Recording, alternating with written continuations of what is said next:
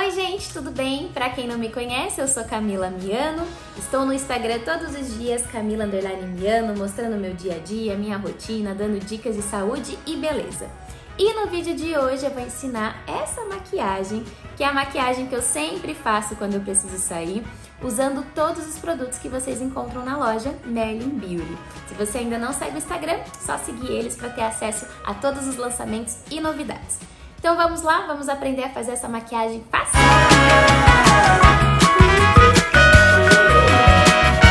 Então vamos começar com esse tutorial de maquiagem, o primeiro de 2022. Vou começar colocando uma faixinha aqui no meu cabelo. Esse aqui é da marca Oceane. E lá na Merlin Beauty vocês encontram toda a linha da marca Oceane. E é ótimo para fazer skincare, é ótimo na hora de fazer a maquiagem, enfim. Bom, já tô com a minha pele limpa, tonificada, hidratada, já passei o protetor solar. Então, o primeiro passo na hora de realizar a maquiagem é o primer. É, o primer que eu vou usar é o da Bruna Tavares. Esse aqui é uma cerinha, então para quem tem poros dilatados ele é sensacional. E essa maquiagem que eu vou fazer, vocês vão observar que não precisa ter muita habilidade. Maquiagem é treino, é prática, é todo dia você sentar na mesinha, olhar no espelho e fazer coisas novas e treinar e tentar, tá bom?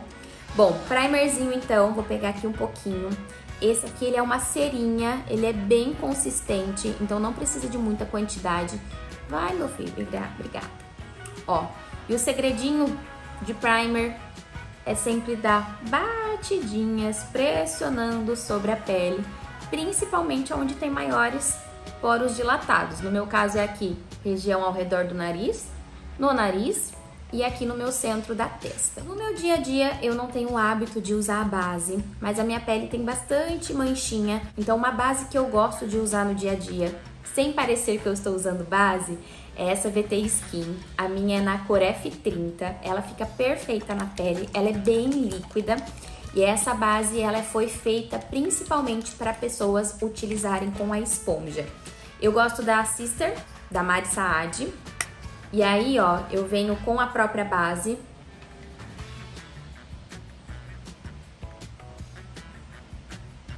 Dou umas esguichadinhas assim, com a esponjinha, ó.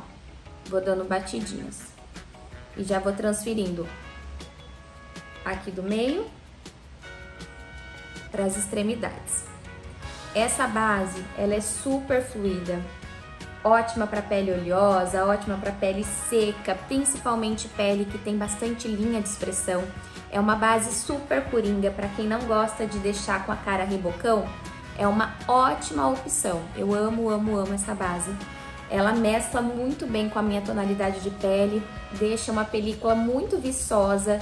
Então, de verdade, para quem gosta de base, não gosta de base, essa é uma opção de base que eu tenho certeza que você vai apaixonar. Eu esqueci, eu gosto sempre de aplicar um hidratante. Esse aqui é um lip oil da Maika, de melancia, delicioso. Eu gosto sempre de estar tá hidratando os lábios antes de começar a fazer a maquiagem. Que é assim na hora de passar o batom, o lábio já tá hidratado, sem pelinha, sem nada. Corretivo é o meu favorito da vida. Bruna Tavares não tem nenhum outro importado que tenha superado esse corretivo para mim. Eu uso todos os dias. Geralmente quando eu não uso a base, eu só uso ele e ele fica perfeito. O meu é na cor L20. Eu uso um pouquinho no cantinho dos olhos, onde geralmente eu sou mais azuladinha. E qualquer pequena imperfeição que eu tenha de coloração mas eu foco principalmente no cantinho dos meus olhos. Ele não faz a parte de iluminação, ele faz a parte só de correção, que ele se adapta bem ao tom da minha pele.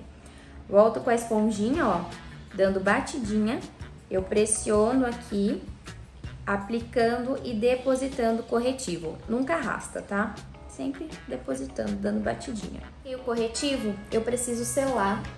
E eu gosto muito do pó da Boca Rosa. O meu é na cor Marmorium. E aí eu venho com um pouquinho de pó, vou vir com a outra esponjinha. Vou vir com uma esponja seca, essa aqui é da Ruby Rose. Aí eu pego e faço uma caminha de pó aonde eu apliquei o corretivo, depositando mesmo, ó, fazendo uma caminha grossinha. Assim eu consigo selar o corretivo fazendo com que ele dure muito mais e não craquelando. E eu aproveito, faço uma aplicação de pó no centro da minha testa e no meu nariz também, que é onde tem maior oleosidade. E devido ao uso de máscara em alguns locais, faz com que o nariz não fique saindo, sabe? No queixo também. Fiz isto. Vou vir agora com o bronzer. Esse aqui é o Taupe Stick da Bruna Tavares. Ele é um marronzinho bem frio, perfeito para as peles clarinhas. Tenho várias tonalidades também. Pincelzinho chanfrado. E eu faço um contorno bem levinho, ó. Um pouquinho acima do meu maxilar. Não faço nessa região tão profunda, que senão eu fico com a cara chupada. Então, um pouquinho acima. E aí eu aplico aqui próximo ao couro cabeludo também só para devolver um pouquinho de tonalidade na minha pele. Como eu sou branquelinha, né? O bronzer, o, o contorno consegue devolver essa definição de cor. Fico bem próximo ali ao couro cabeludo. Essa tonalidade também ela é perfeita para fazer na aplicação da lateral do nariz, um contorninho no nariz, porque ele é bem friozinho. Então eu pego um pincelzinho de sombra, bem fofinho, ó, eu faço bem levinho um contorninho na lateral do meu nariz. Não exagerar, senão vai parecer artificial. É só para devolver um pouquinho do formato e definição. Só isso. E aí eu venho com um pincelzinho de pó, bem fofão, e eu dou acabamento com um pozinho compacto. Esse é o da Dylos. Esse aqui, na verdade, é do meu marido. É a cor D5 médio. É, é, um pouquinho mais escuro que a minha pele, mas eu gosto tanto desse pó que eu uso somente para polimento. Ele deixa o acabamento bem bonito na pele, então usando com um pincelzinho bem fofinho, ele não dá cobertura. Mas se eu for usar com a esponja, aí o tom, aí o tom não dá certo pra mim. Mas assim, bem levinho, ó, ele fica ótimo. E sim, homens que me assistem, invistam nesse pó porque é muito bom. O homem tem bastante oleosidade, não quer ficar com a cara parecendo que dá para fritar um pastel. Esse pozinho é ótimo. Mulheres que me assistem, ó, já investe aí pro maridão. Sem contar que é baratinho. Vou usar o blush, deixa eu pegar aqui que eu esqueci. O blush que eu vou usar é o Noronha, também da Bruna Tavares. Bruna Tavares me nota, eu sou apaixonada pela Bruna Tavares pela pessoa, pela profissional, pela qualidade dos produtos, enfim. Bruna, perfeita. Esse então é o Noronha. Eu vou vir com o mesmo pincelzinho do contorno, vou pegar um pouquinho dele. E esse blush é extremamente pigmentado e tem um brilho lindo. Ó, vou dando batidinhas, espalhando em direção à orelha. E com o excesso do pincel, dou uma passadinha aqui no nariz, ó. Assim fica com uma carinha mais de saúde. Pronto. Sobrancelha. Eu amo, amo, amo essa pastinha de sobrancelha da Mari Maria, a minha na cor blonde. Dá super certo na minha sobrancelha, dura muito bem. Tô usando o pincelzinho da Macrylan, escovo todos os pelinhos, ó. Sem medo aqui de ser feliz. Só penteando mesmo pra cima e lateral, ó. E quando vocês forem preencher a sobrancelha, principalmente com essas pastinhas, que é extremamente pigmentada, não costuma fazer no início primeiro. Começa lá do meio, ó, lá do topo, venho bem retinho do topo alto, mãozinha bem firme. Faço primeiro a casinha da sobrancelha, que é a parte de cima. Venho arrastando para a parte de baixo, ó, pro centro. E aí, no início, eu venho aqui no comecinho, faço uma linha reta, preencho o centro. E depois, com o excesso, ó, eu esfumo pra cima, em direção ao restante da sobrancelha. Só isso. Assim eu deixo minha sobrancelha preenchida, porém com acabamento mais natural. E esses pincéisinhos assim, ó, são uma mãozinha na roda para facilitar a aplicação. Só isso. E aí, pra fixar essa bonita aí no lugar por muito tempo, esqueci. Vou utilizar o Brow Fix também da Bruna Tavares. Novidade, né? Bruna Tavares reina aqui na minha coleção de make. Penteio tudo pra cima. e aqui pro ladinho, pra cima,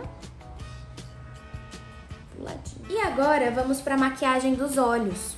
Eu vou utilizar, esse aqui é o BT Velvet Cappuccino. É uma sombra líquida multiuso, dá pra usar como base de sombra, como sombra, como delineador, como lápis, enfim. Tem mil funções e tem várias cores também. Esse cappuccino, ele é um marronzinho mais claro, mais frio, então ele é ótimo pro dia a dia, não tem brilho nenhum. E aí é fácil de fazer a aplicação, ó. Coloca um pouquinho em cada pálpebra. Veio com um pincelzinho fofinho de esfumar, ó, sem medo. Deposita, depositar, vai dando batidinha. E aí, para esfumar, movimento circular. O segredo também está no pincel. Esse é um pincel de aplicação e de esfumar, então também facilita. Ó, movimento circular, movimento vai e vem. Movimento circular, movimento vai e vem. Assim a gente já tem um fundinho de sombra mais escurinha. E hoje eu vou utilizar esse produtinho aqui, que ele é o Betemelo. Ele é dois em um, uma sombra e iluminador com a textura de marshmallow. Eu peguei a cor Magical, que é esse tomzinho de pêssego com dourado. A textura é maravilhosa, é, é muito gostosa. E esse produtinho, como eu falei, pode ser usado nos olhos como sombra ou como iluminador. Então eu amo essa proposta de dois em um. Vou vir com o mesmo pincelzinho, vou pegar um pouquinho, ó, Dá pra ver o quanto que ele é molinho? Dá pra ser usado com os dedos ou com o pincel também. Peguei aqui, vou utilizar, ó, na minha pálpebra, dando batidinha em cima do BT Velvet. Ó que lindinho. Eu vou usar o mesmo produtinho, um pincelzinho fofinho, ó, e vou usar de iluminador. As partículas de brilho dele é um pouquinho mais evidente, dá pra ver. Não é tão acetinado.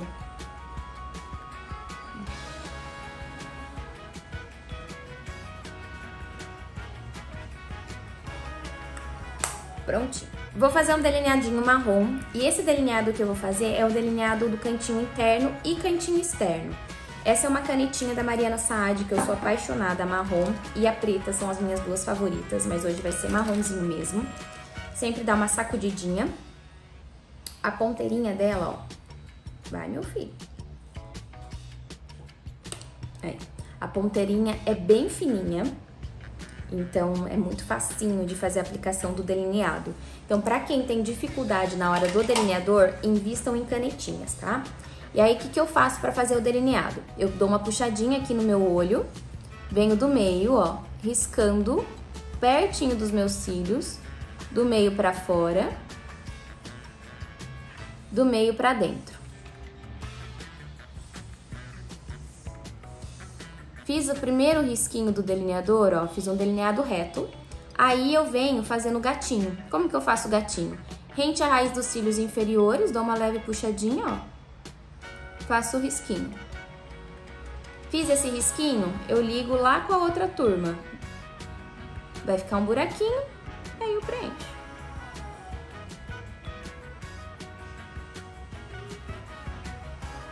E para fazer o delineador no cantinho interno, eu tenho que pegar um espelhinho, ficar bem próximo ao espelhinho, com o olhinho bem aberto, ó. Opa! Eu venho esticando aqui, ó. Só venho aplicando o delineador nesse cantinho interno.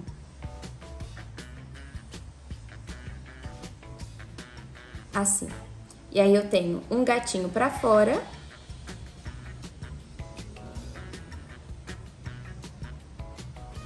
E eu tenho um gatinho pra dentro. Só isso. Fiz isto. Na parte de baixo, eu gosto de vir com um pincelzinho bem fofinho, delicadinho, de detalhes, ó, titico. Eu vou vir com uma, som uma sombrinha, vou vir com uma sombrinha da paletinha Grill Power, da Mari Maria. E eu vou vir com esse tomzinho de marrom. Esse é um marronzinho mais quente. E aí eu aplico bem rente a raizinha dos cílios inferiores, ó. Olhinhos prontos, máscara de cílios. Vou usar a máscara de cílios da Revlon. Esse aqui é o Ultimate All-in-One. O aplicador dele é bem pititico, é bem pititico mesmo, que esse tipo de aplicador consegue alcançar desde os menores até os maiores fios. Então ele é ótimo. E a Merlin Beauty é uma loja oficial da Revlon, então vocês encontram os produtos lá. E olha, esse aplicador é incrível, vai dando uma leve piscadinha, ó. Assim ele encaixa perfeitamente do cantinho interno, do canto externo, da raiz às pontas. E, gente, depois que eu aplico em cima, eu posso aplicar embaixo também, que as sardinhas, ó, são bem pititicas, alcançam nos cílios inferiores. Só isso. E eu vou aplicar um batonzinho. O batom que eu vou usar, eu não pensei no batom. Vou usar esse aqui. É o TT, também da Bruna Tavares, né? Que novidade. Que ele é um tomzinho de pêssego, cor de boca pêssego. Lindo.